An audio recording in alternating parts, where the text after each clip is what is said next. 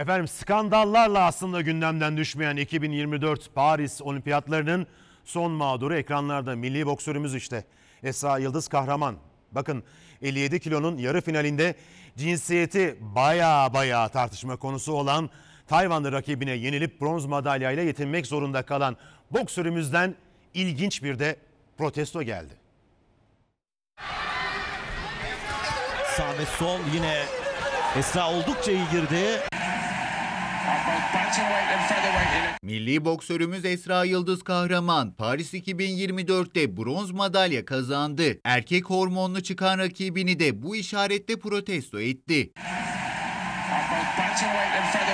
Milli boksörümüz Esra Yıldız Kahraman kadınlar 57 kilo yarı finalinde Tayvanlı rakibi Yu Ting Lin'le karşı karşıya geldi. Seyirciler bir sağ ardından bir sol kroşe.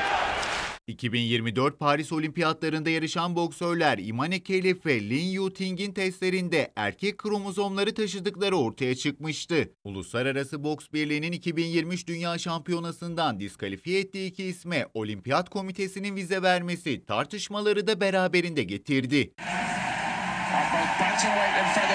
Milli boksörümüz Kahraman da 57 kilo yarı finalinde o isimlerden biriyle karşı karşıya geldi. Çok mücadele etmesine rağmen rakibi Lin Yuting'e 5-0 yenilip bronz madalyayla yetinmek zorunda kaldı.